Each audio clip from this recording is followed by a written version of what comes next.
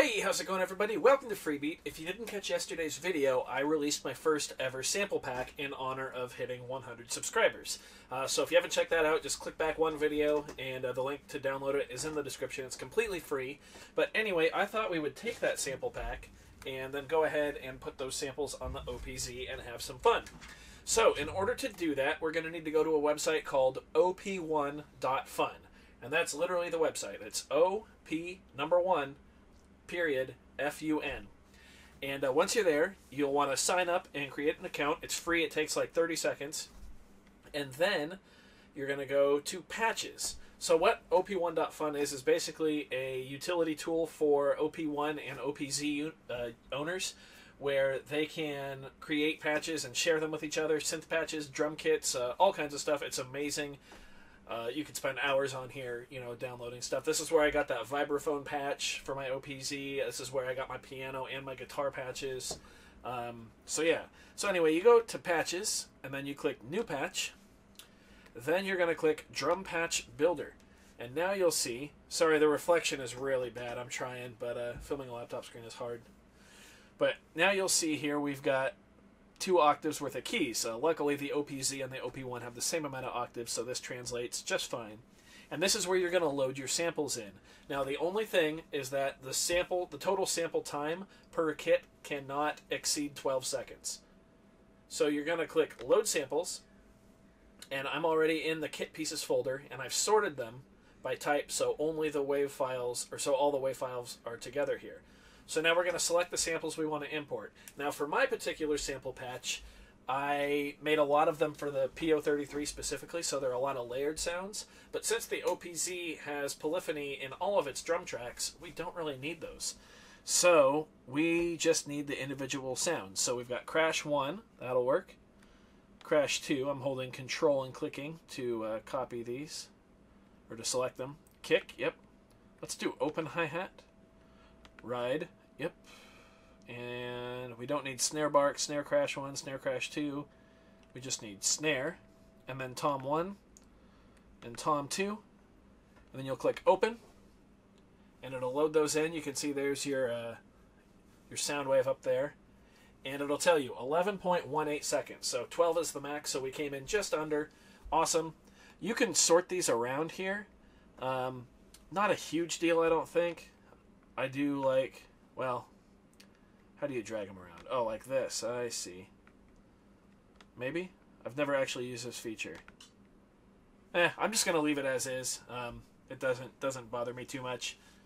So anyway, we're gonna click save. And then you can see there's the patch. Now we're in edit patch. Uh, I keep I, I uncheck the public box. I don't like my patches to be public. I'm gonna name this uh, FB kit, free beat kit. Oh, accept it. Clicked off. Kit. There we go. And there you can type a description if you want and a license. And then you're just going to click Save Patch. Then it's going to bring you here. And then you can just click Download. From there, it's going to download an AIFF audio file, which is what the OP1 and the OPZ read for their drum kits and for all their samples, I believe. And then it's going to download. From there, you're going to take it and bring up your OPZ. I'm actually going to stick a thumb drive in my laptop and bring this file over to the desktop because it's a little easier for me to film. So I'll see you guys there. All right, so here we are at my computer. You can see I've got the uh, the kit file right there.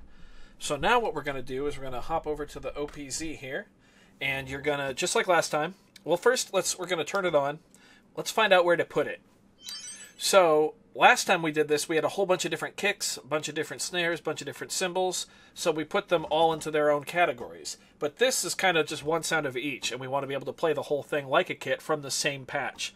So for that, I like to use the sound effects patch, which is or bank, which is number four, uh, right there.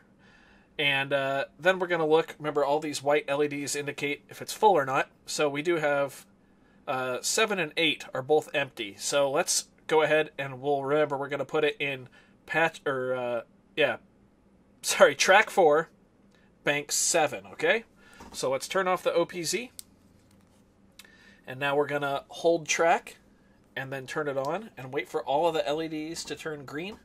Okay. Now we're going to take our USB cable, which is plugged into the computer. We're going to plug it into the OPZ.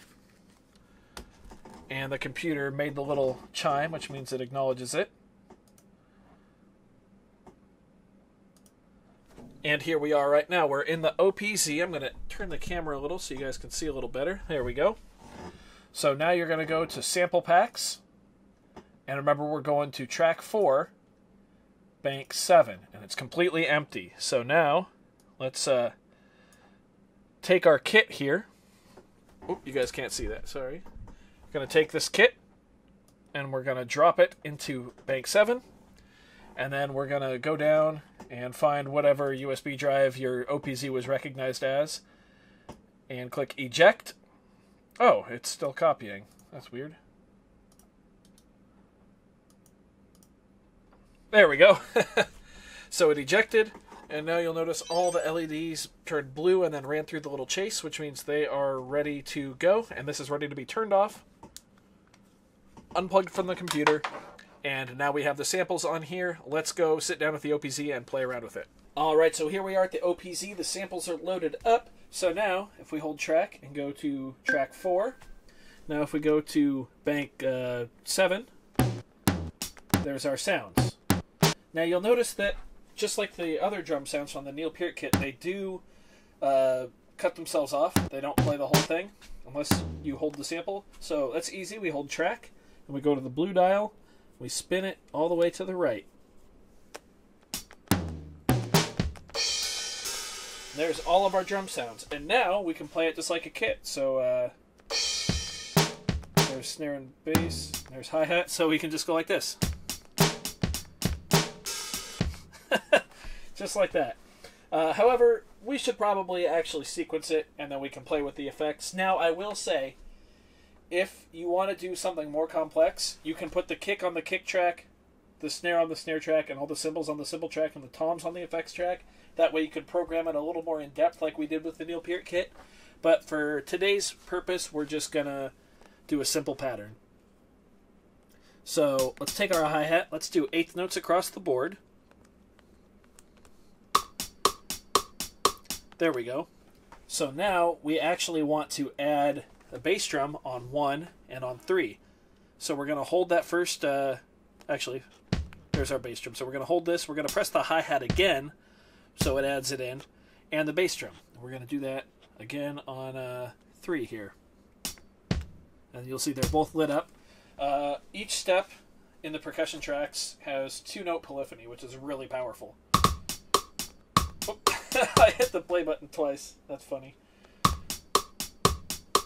So, really quick, let's hold metronome and uh, use the red dial to turn it off. So now on 2 and 4, we're going to want a snare drum. So uh, 1 and 2 right there.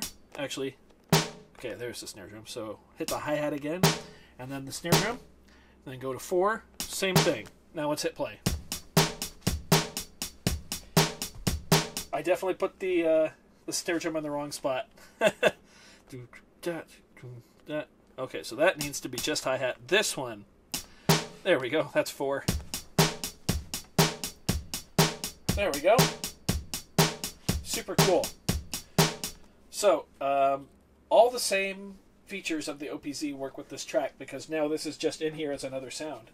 So, for instance, uh, if we add another hi-hat at the very, very end there on the uh of four, we can hold shift and select that step and use the step component uh, to skip it and only play it every two times. So now let's listen.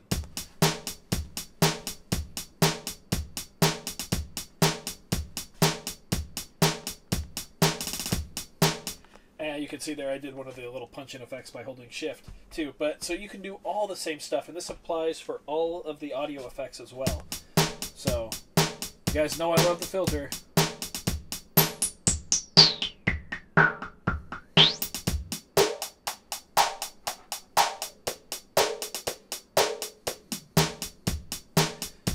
Pitch works.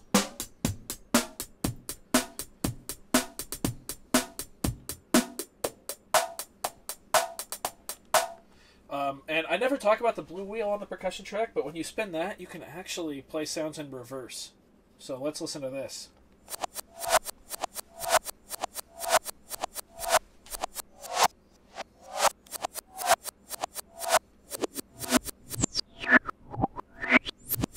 Super cool. In fact, you can even like go into the actual bass drum track and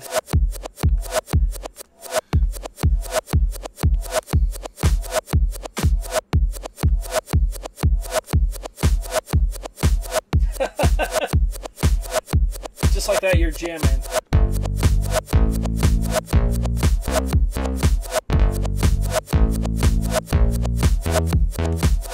Just like that you're you're jamming, you know, you're rocking out. So uh, let's go ahead and clear the bass drum and snare drum tracks. But there's this thing is so powerful. Um, think of all the possibilities. You know, let's go back to our, our sample track here. Let's uh, set the pitch back to normal, set the samples back to normal, and set the filter. Where is it? There we go. Back to normal. So all of the same parameters work. Uh, that includes the effects. There's some delay. Panning works. You can go left, you can go right. Of course, volume works. Um, the LFO page works just fine. It's it's amazing what you can do. Let's turn the delay off. And uh, you can also, you know, the tape track works. So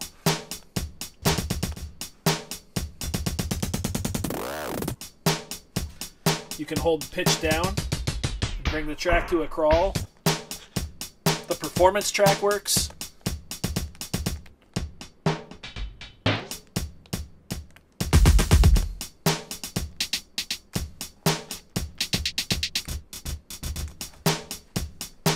there's just so much you can do with this.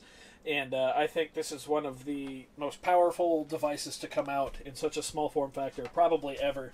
Um, just blows my mind, and I am really excited about the sample pack because this is actually, believe it or not, the first time I've heard them outside the computer.